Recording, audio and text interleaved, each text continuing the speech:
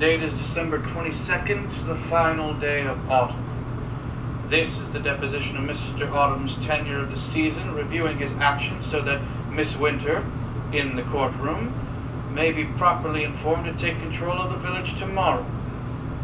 Mr. Autumn, the first order of business. You put in paperwork applying to retain your position for next year. We know that the date on that paperwork was the second day of your position this year. That is now three months ago. Has your opinion changed? Do you wish to withdraw your application? No, my opinion has not changed. I do not wish to withdraw from consideration. Very well. Then, in addition to reviewing your actions on record, we will give a judgment at the end of this deposition as to whether or not you are fit to hold the position for the next year. Now, Mr. Autumn, we have reviewed your reports of the happenings and actions taken during your tenure. You turned those reports in a week ago. Has anything else happened during the past few days?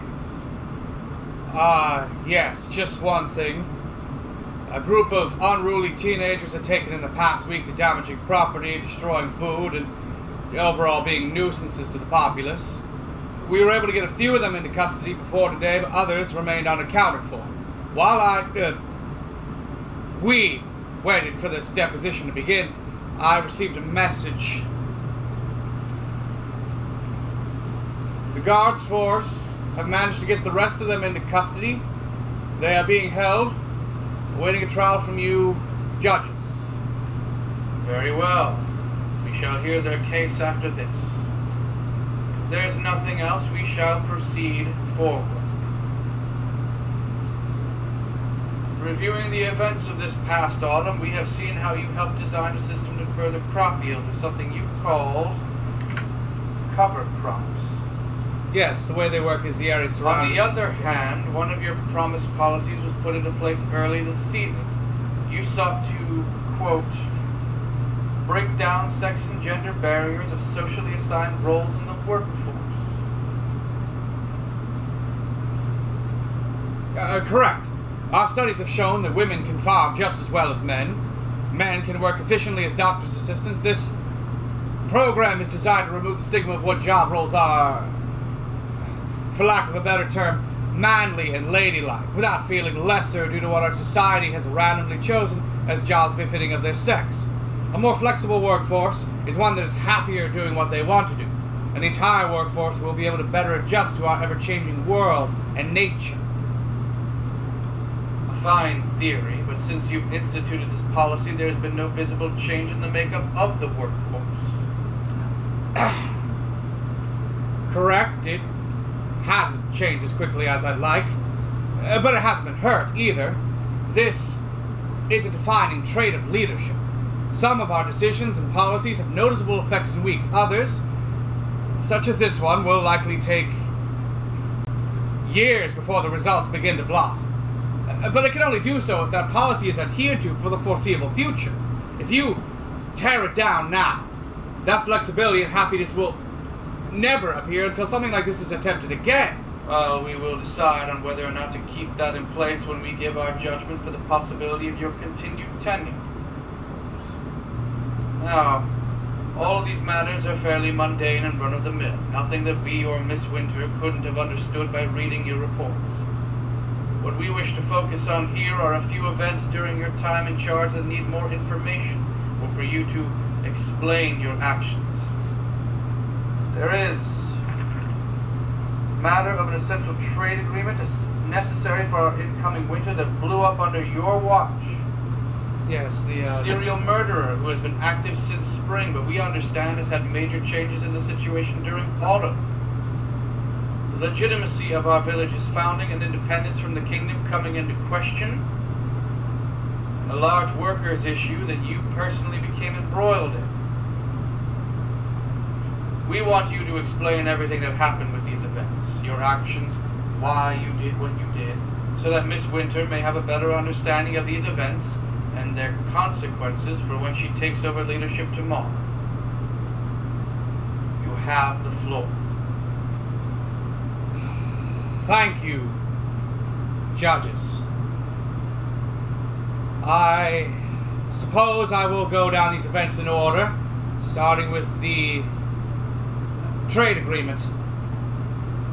Mr. Summer, admittedly volunteering to not lead again next year, had made a trade agreement with the village of Corrig, uh, one that we've had in place for, for years, but this year, Mr. Summer promised a record breaking amount of sheep's wool for them to use for coats and blankets for winter. In return, we were to receive about an equal share of salted deer meat so that food would not be scarce during our winter. To be fair, he was well on his way of achieving that goal, and that pace continued when I took over at the beginning of autumn. However, things became problematic. We had an overly powerful storm season. During one of those storms, the barn housing all the sheep had a large chunk of its roof cave in. The sheep standing under that part of the roof were killed.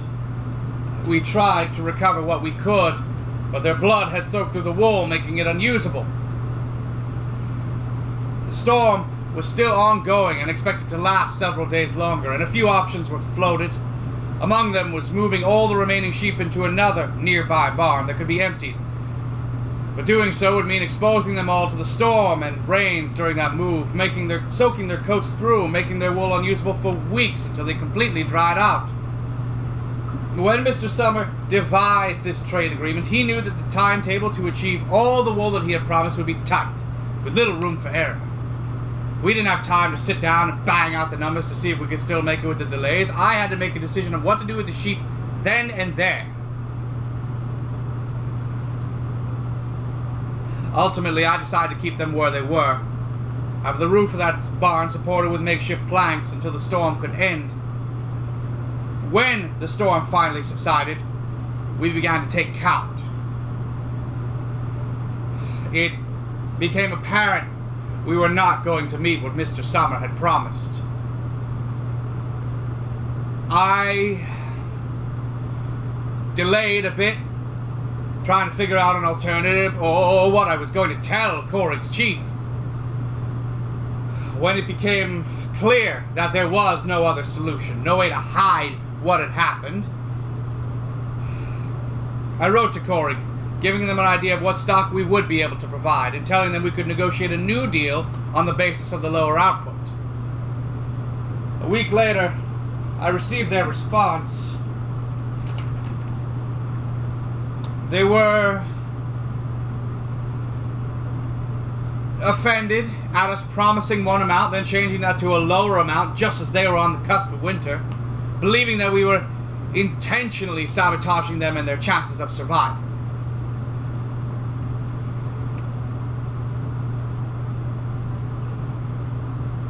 Called the deal off entirely, claiming they get their stock from Village Damas outside of our initial contact and trade agreement made years ago. Almost all of our village's communications with them have been through letter, including my own.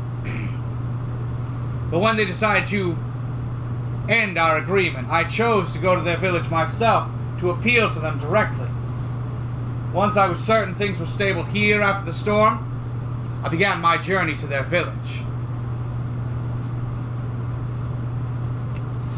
Upon arrival, I was greeted by their representative of Foreign Affairs. They gave me a wonderful tour of their village. Specializing in meat harvesting and production, I was amazed by their efficiency, in particular the storage methods that keeps food good to eat for months. I brought some of those ideas back here and implemented them. When the tour was finished, I was then taken to the chief's estate. Now, I am no fool. I played the part of a gracious guest taking in their tour, acting amazed at practices that are fairly standard, and being genuinely amazed by the creative ones that I've not seen before. But I know that that tour was just a way of delaying my visiting the chief.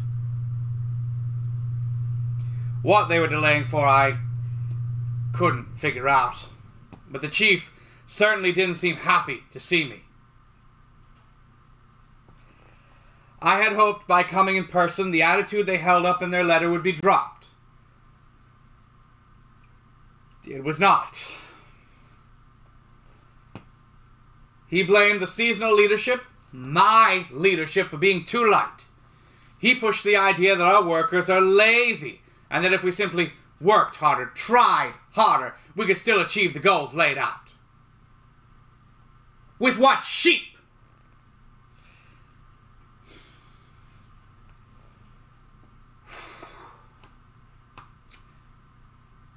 I tried to bite my tongue for his insults.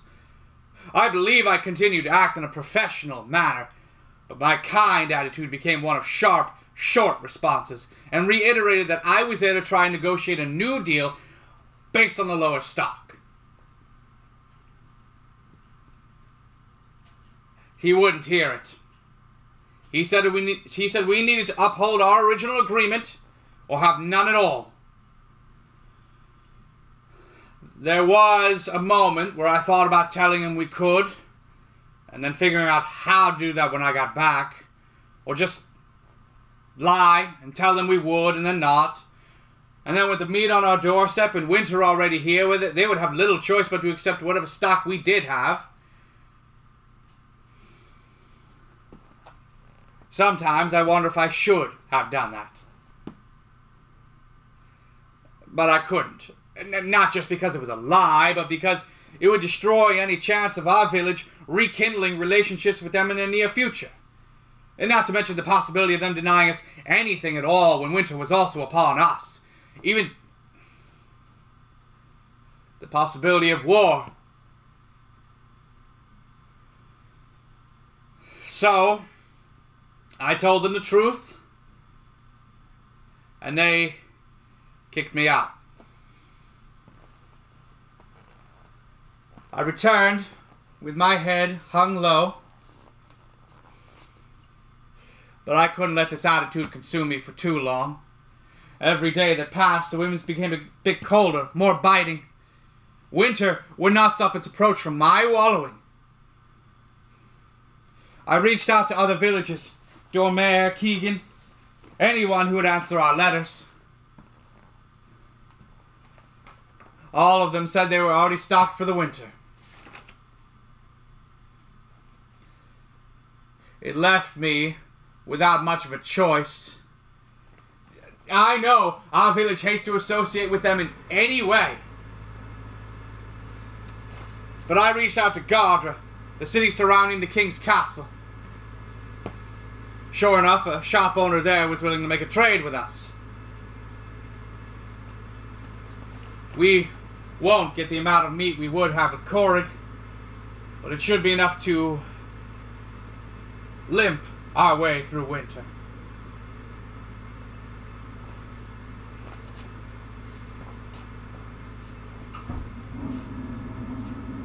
Regarding our serial killer problem.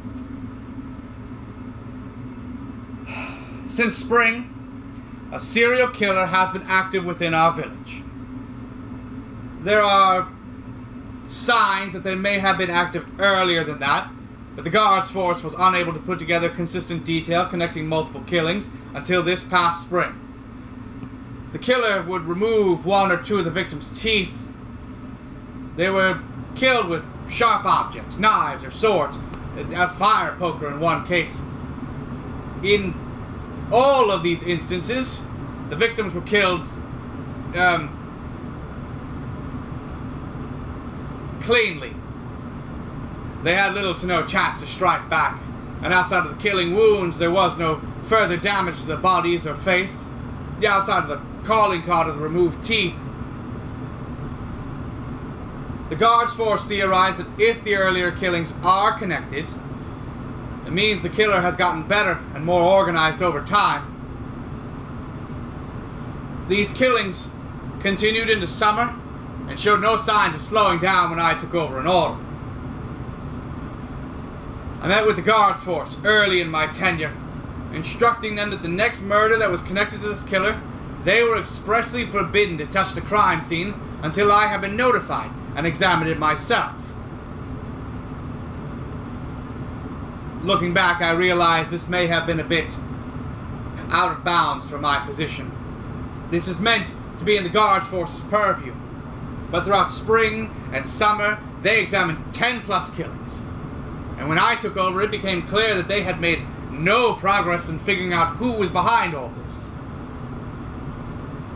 I felt that if I took over, I could crack the case, prove that I. Well, in addition, I, I feared perhaps someone on the guards force was the one committing the deeds, covering up their crimes while on the scene, or perhaps covering up for someone they knew. I could not be certain that the guards force hadn't become corrupted somehow. The first death I was brought to wasn't much different than the others that I had heard about. The home was mostly left untouched, though a few objects of value were gone. The body lay in the center of the floor. Looking around the room, I theorized that the killer was already in the home when the victim came in. The killer, sitting in a chair in darkness, the victim probably didn't even see the killer when they came in. As they got settled in for the evening, the killer moved to attack. Either of their own volition or because the victim finally saw them. One precise wound in their chest. No chance of fighting back. Most likely tool used was a sword. Judging by the small pool of blood slightly separated from the body, it's likely the killer wiped their blade clean before moving on to their next go. As with all these killings, the victim was missing a tooth pulled out, not terribly cleanly. Otherwise, the crime scene didn't seem to have anything of note. No noticeable shoe prints, no. nothing to go off of. With these points in mind, I sat down with trusted counsel. We went over the details one by one. We tried figuring out who the victim knew, who could be seen as an, an enemy. We cross-reference people this victim knew with people the other victims knew. But couldn't seem to find any matches. As we went over this case, trying to solve it, another body turned up. Same pieces of evidence, same lack of any ties to who might have committed these murders. At this point, I figured even if we couldn't piece together who the killer was, we could present this evidence to the guards force, get everyone on the same page on all the details, which we did. Unfortunately, they already knew all these points. I guess I should have known that. We couldn't even get a glimmer as to who committed these murders. All we came to the conclusion of was that they were connected, performed by a serial killer, which they, obviously, already knew. It turns out I may not have been as good of a detective as I had hoped. Or perhaps the guards force aren't corrupted like I had thought. They, more or less, laughed us out of their base. I returned to my counsel and told him how it went. Poorly. It was then that he had a brilliant idea. He pointed out that up to now, the killer has only been killing people who were citizens of the, of the village we don't get much in the way of tourists. So they could kill whoever they wanted at any time they so desired. So why not make a prime target, available only for a limited amount of time? If this killer really was a collector of teeth, they would not be able to skip the chance of someone being in town for only a few days. Figuring out who was going to be our prime target was the difficult part. I thought about dressing myself up, but unfortunately I am too recognizable. Perhaps someone else, disguising one of our own as some foreign dignitary, but that would mean they would need to be in on the plan, and I did not believe that any of our own citizens would willingly offer themselves up as bait.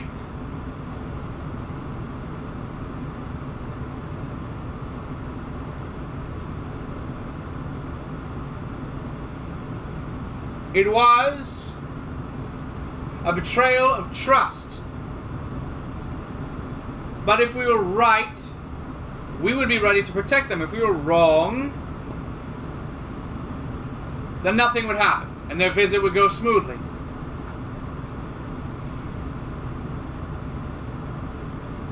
I didn't see a better alternative. I wrote a letter to them straight away, offering them to come see our village. Now that we were meant to be doing business together, the shop owner from the kingdom was our best bet at luring someone in from the outside, under the guise of viewing our setup and his eventual stock. He accepted the invitation, and we made a big show of it all. A town meeting beforehand, a clear statement of who he was, why he was here, how long he'd be here, and a staged slip up to let out where he was staying. He arrived, unaware of what we were planning. We had guards force with him at all times during the, the day, but during the evenings, only guards posted outside of his room, or at least that's what was visible. The killer came on night two. They were unaware that we had set a trap. Sprang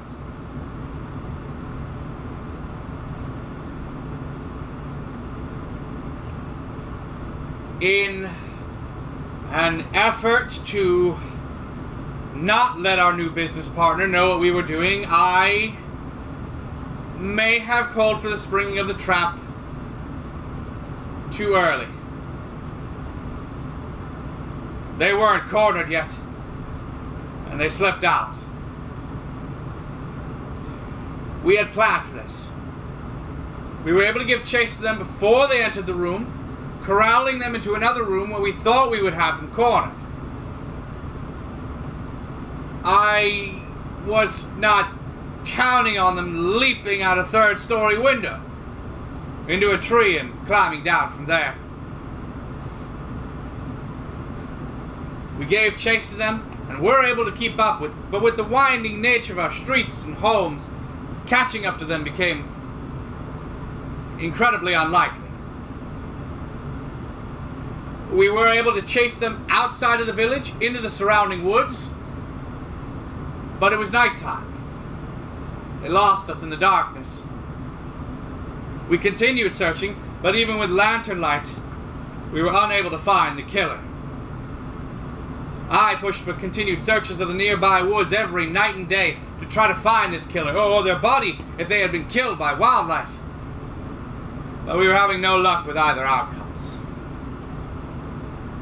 Two weeks into this, and my attention was being forced into other areas, and the captain of the guards force was pressuring me to stop all the, as he put it, needless searching.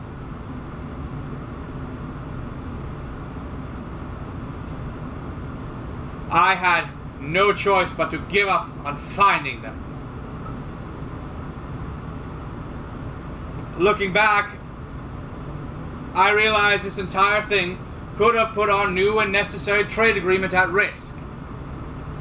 Admittedly, that possibility had not crossed my mind while we were devising the plan or executing on it. But my spring of the trap so early meant that our guest from the kingdom was never aware of what we were doing, and our agreement is still in effect. Yes, by springing the trap so early, it meant the killer was able to get away. Uh, but this all happened over a month ago, and there has been no sign of the killer since.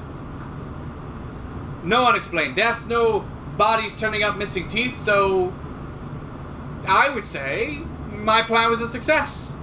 They either fled the village entirely or were killed by some wildlife out in the woods.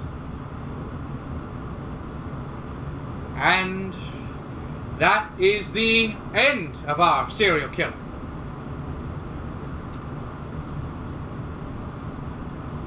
For now. Hopefully for good.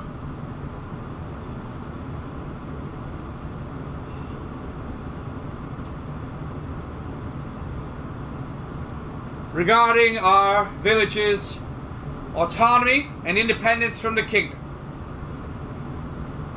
Yes, by springing the trap so early, it meant that our guest from the kingdom was never aware of the role he served as unknowing bait.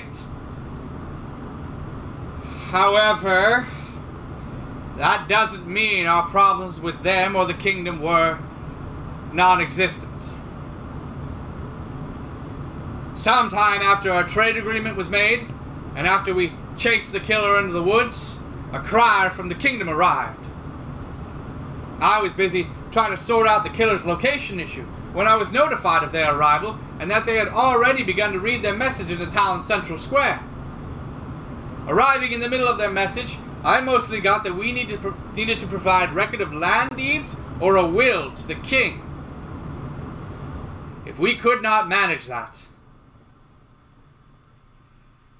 they would take over our village. When the announcement was finished, the crowd began to disperse. The people certainly seemed miserable. Pushing through them to the crier, I introduced myself as the leadership of the village at this time. He handed me a copy of the announcement he had just made and left in a hurry, giving me no chance to ask questions. The copy said that the kingdom had recently gone through its records and found no sign of any paperwork indicating the right for this village to exist. Now, I have to imagine this was either a lie or that this paperwork was intentionally misplaced.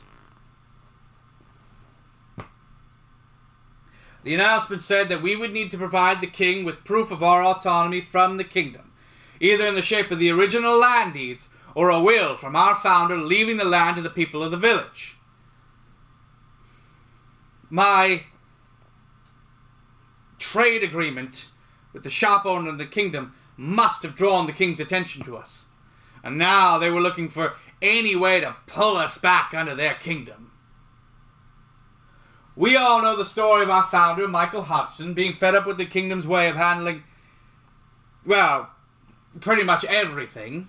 He struck out on his own, set up a home and trade shop here, and through his earnings, purchased the block of land from the kingdom, ensuring his freedom to manage it as he saw fit. And as we now see fit over a hundred years later. Because of this, our relationship with the king and his kingdom are well, shaky at best.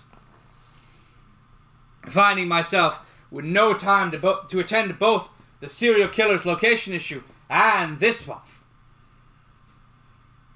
I had to wrap that one up.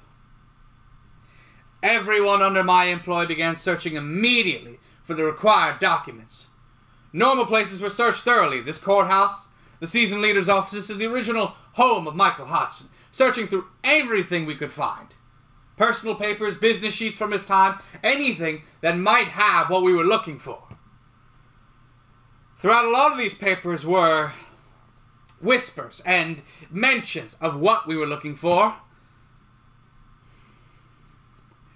But we couldn't find the documents themselves.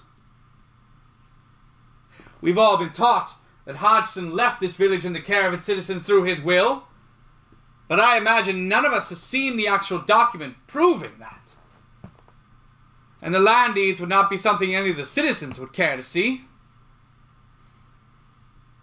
With every normal place and many abnormal places searched through and through and still turning nothing up. I was quickly running out of ideas, clues, and options. I was getting desperate. I would not be the one to lose this village's independence. I returned to Hodgson's home. The place is preserved a key piece of our history. I was gentle, careful, but began rifling through everything I could. desks that were still filled with papers, books on the shelf. Through all this, I got a better glimpse into our founder's mind. He seemed to have a thing for poetry or songs, finding many full poems, uh, none of them his own work. Portions of songs written to the side spaces of his business's paperwork. He wrote the same notes down several times in several different places. I started taking notes of my own, of documents in this preserved place, what was on them, so that I could study them back at the office. Through those studies, I was hit with something. He wrote the same notes down several times. Initially, I thought it was to hammer in something he needed to learn, or simply that we, we learn the same lessons throughout our lives several times, framed differently each time. But I began to wonder if there was a, a deeper reason as to why he had written these things down multiple times. I spoke with our historian and record keepers, and while Hodgson lived and worked to the age of 87, there is no one alive today who knew him while he was. They gave their own thoughts as to why he had written these things down multiple times, but they were either identical to my original thoughts or didn't seem to lead anywhere. During all this, weeks went by. And I didn't feel like I was getting any closer.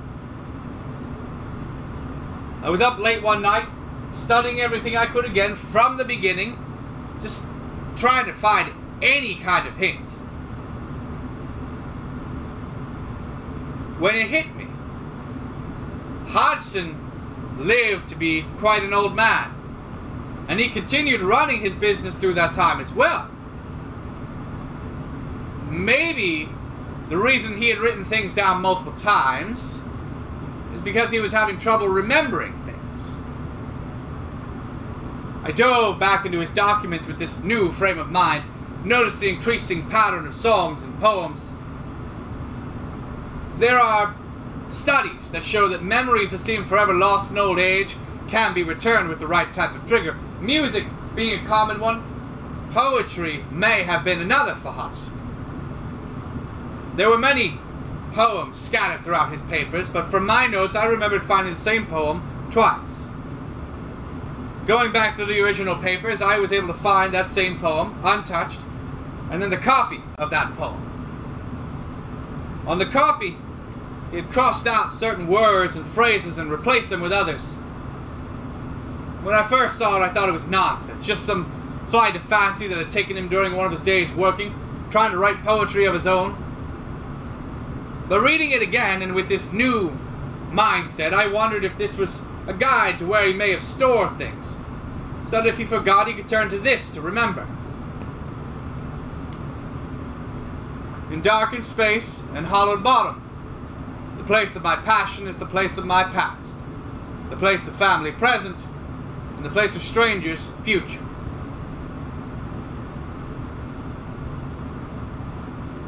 Darkened space could mean any place the light doesn't quite reach. It was too vague. Hollowed bottom, a hollow tree stump, or who knows what else. The place of my passion, the place of my past. Perhaps someplace in the kingdom before he set out on, out on his own? That same place, the place of family present. Now, we all know Hodgson never married, never had kids. Part of the reason he left the village to the citizens.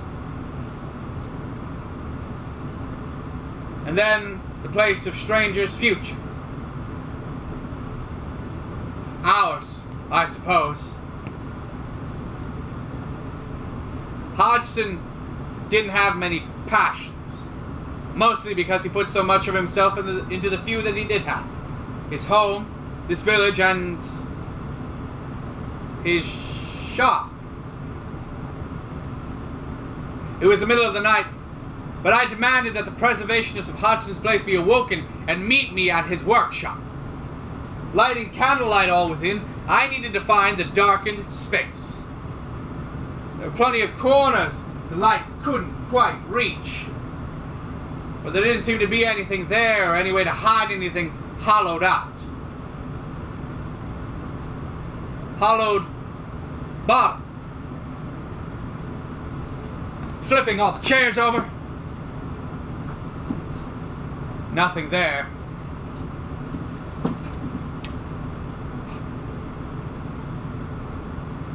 Then I saw it. His desk.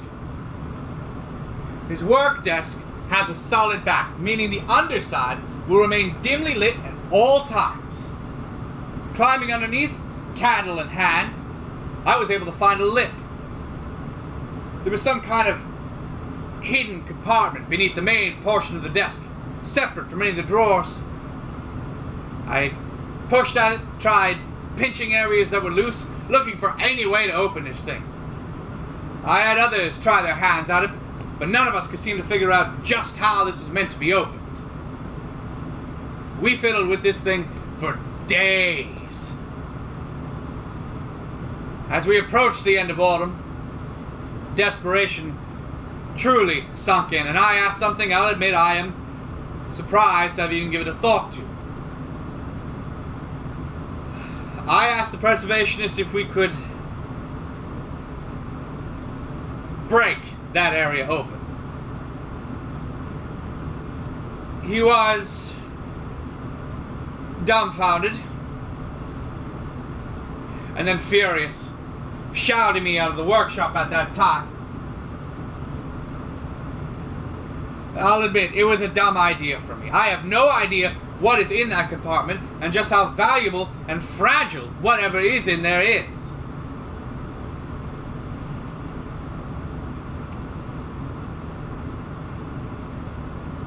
But I couldn't figure it out. I ran out of time. I couldn't find the will or the deeds. I. Uh,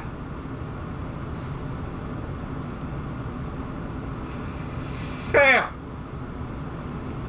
in this regard.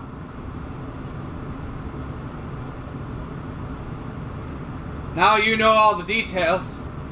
It'll, it'll be up to you to finish this. You're free to pursue whatever leads you wish, but I have confidence that what we're looking for is in that compartment. That's the best lead I can give you, and I hope you have better luck opening it than I did.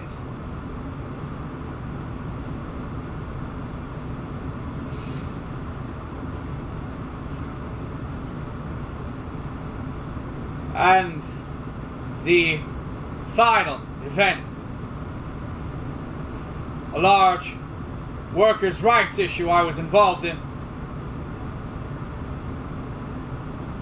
While at the office one day, studying my notes on Hodgson's documents, I heard some of our staff members dealing with a. Uh, I don't think irate is the right word, but definitely upset man. Coming out of my closed office, I pushed everyone back to what they needed to do and escorted the man back into my office, offering him to sit down, try to calm himself, explain what was happening. He didn't calm himself, he didn't wait to launch into his problem. His wife had been injured volunteering for the night watch of our village's walls, attacked by a wolf, saved by other night's watch. They brought her back into the village and, uh, and she was patched up by our doctors. But her leg will take time to heal, months to be exact. She works in an office in the village. She could make it to work on the crutches crafted for her and do her job just as well as before, or so he said. The problem came to moving quickly. Now, nothing in her job really requires her to do so, but certain employees were starting to get annoyed at how much space she took up getting in and out of areas and how slowly she had to move. Soon, higher ups began speaking to her, then pulling her into rooms to tell her she needed to speed things up.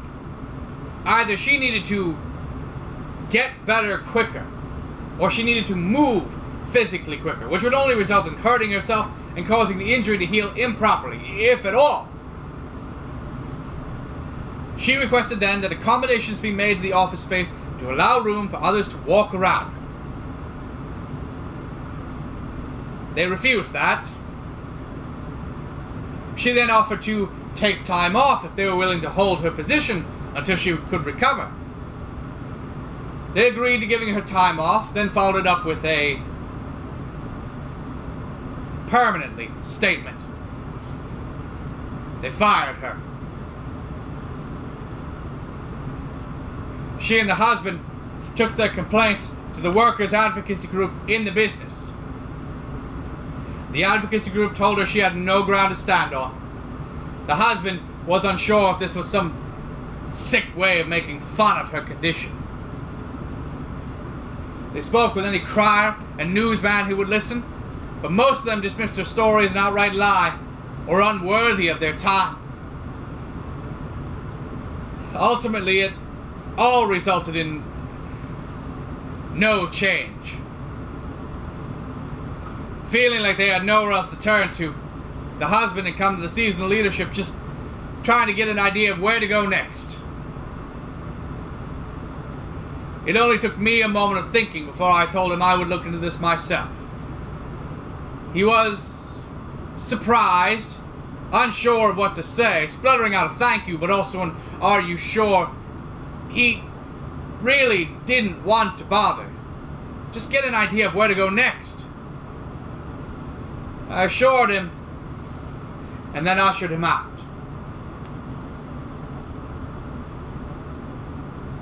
The immediate thought was I needed to verify what he had told me. First, I spoke with the news criers. Most of them were able to confirm that they had at least had conversations with the husband or wife. Those that didn't take the story up gave excuses that they couldn't believe the story was true.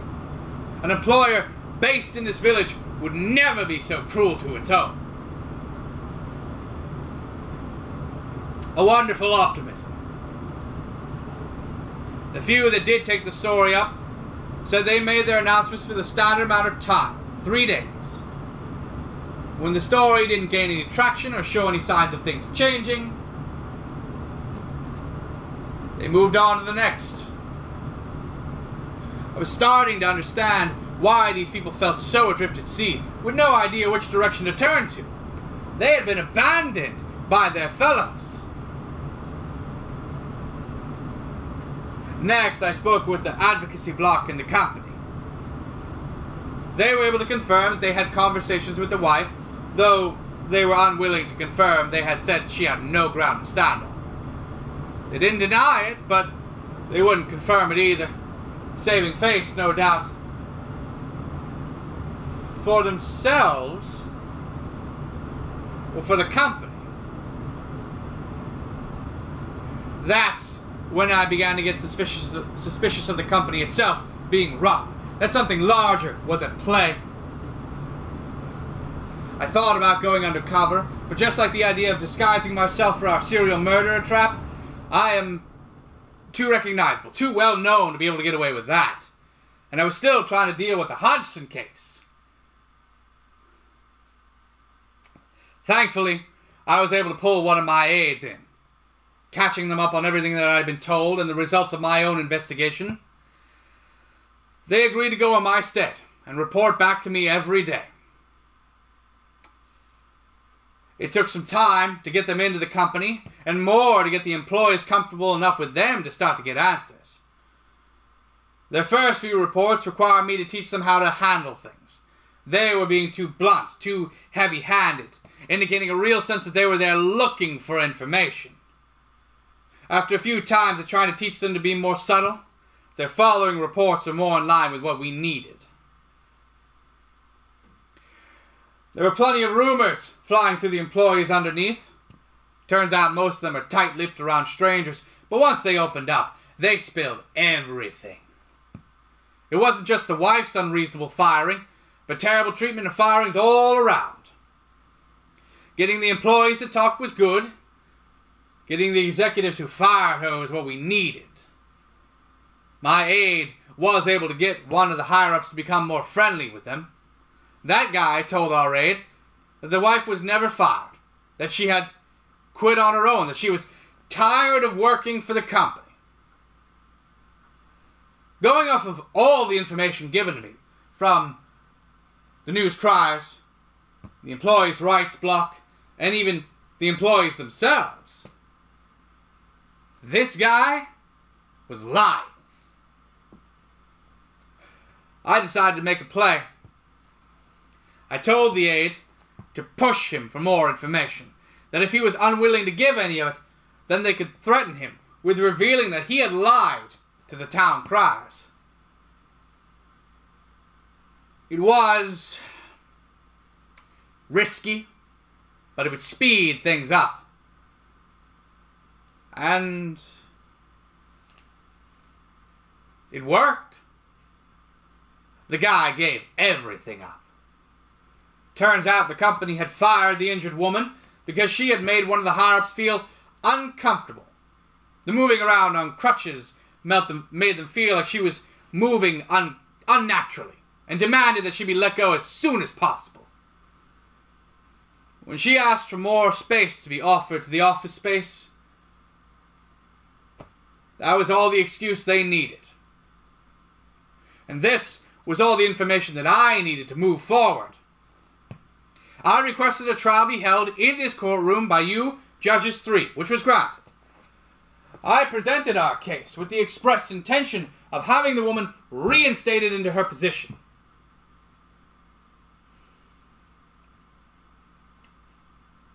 You denied that motion. You could not agree that one person's word from working undercover was as trustworthy as a higher up employer, even if that person was a direct aide of the government. You concluded that while their position does lend credence to the possibility, you would not take it as actual fact. With no one else in the room at the time to verify what he had said, you decided it was all hearsay. The case was dismissed, and she was not reinstated to her position. I sat in the office that evening, sulking in my failures. I'll admit I felt, maybe even feared, that that would be the end of this.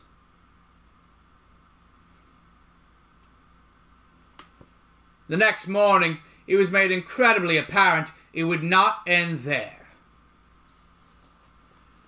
There was a large crowd outside of the leadership offices, protesting. I inquired what they were protesting, and one of them told me it was against the company firing the injured woman. Pointing me to that company and heading there myself, I found an even larger crowd outside picketing the business. Turns out the, the husband had gone back to the news criers after the dismissal of her case.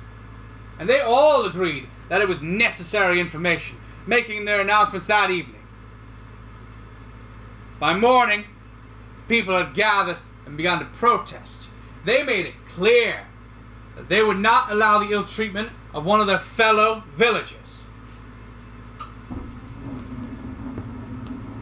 Initially, I did nothing.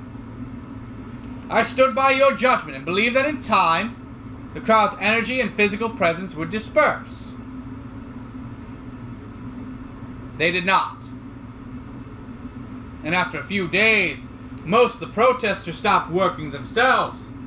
The productivity of our village came to a grinding halt, which has many major problems, but among them was the wool that we still need to get our trade agreement. With that on shaky ground and winter almost here, I had to make a definitive move. I drafted a law that requires all employers to give reasonable accommodations. And from here on out, to show increasing steps of discipline before firing an employee. If the employee decide to take their case to the courts, the judges would be required to go over requests from the employee, reports from the employer, and make a determination over whether the firing should be upheld or overturned and the employee reinstated. Unfortunately, I could not find a legal standing in which I could make this retroactive. By doing this, I was already overstepping my boundaries as seasonal leadership but felt this needed to be done to rectify the issue in some way and to satisfy the villagers' want for justice. The people celebrated when the criers delivered the news, and they returned to their lives shortly after. I sat in the office feeling like I had made a great accomplishment. This was finally done.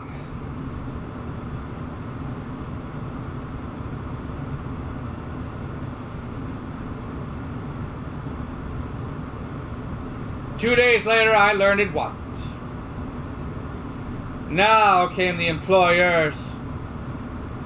They weren't anywhere near as large in number, and they came only the seasonal leadership demanding to speak with me. They cussed and shouted, threatened me and my aides, but I would not back down, especially when none of them could give a viable reason as to why the decree should be repealed. With no luck changing me, then they turned to you judges, claiming I had overstepped my responsibilities, made a decree that was outside of my purview. I know the deliberation went on for some time, but ultimately, while agreeing that I had gone above and beyond what my office initially allowed, you agreed with my decree, and it would be upheld for the remainder of the season.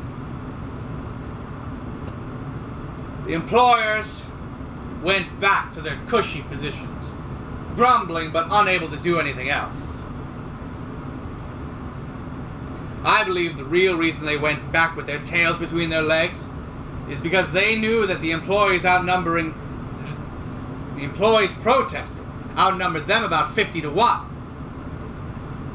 The employers could never create a caucus large enough or strong enough to accomplish what they could. With that, I was unable to get the woman her original job back, but I was able to place her in a job as a government aide. She seems very happy.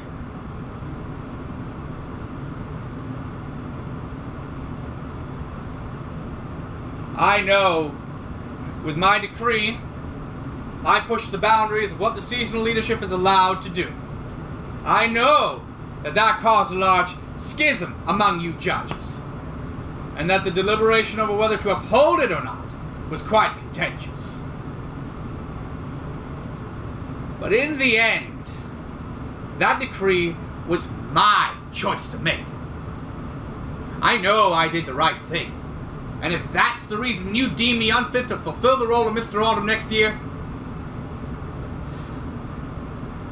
then I will leave this courthouse with my head held high, knowing I made the right decision for the people of this village.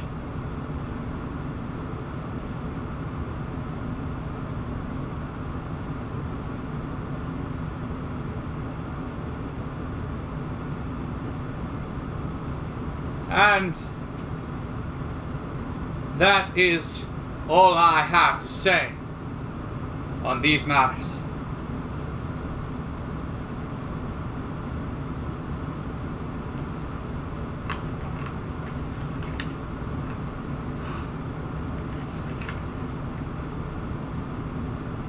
We are ready to hand down our verdict. Mr. Autumn, you have made decisions that have undoubtedly helped this village, but you have also made egregious errors we cannot ignore. In reviewing your actions and accounts of what has happened this year, comparing them to those of the previous year, your first year in this position, we do see you made improvements. Still needed to be better for your position and your village. We believe from what you have attested to here today that you know that and will try to do so, and for that reason, we judge that you will remain as Mr. Autumn for the next year, and your policy shall remain in place. This court is adjourned.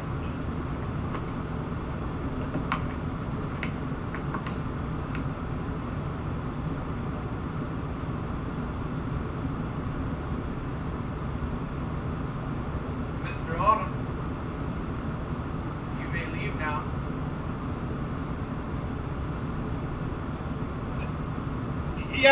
Yeah. Sorry, I'm just um. Yeah.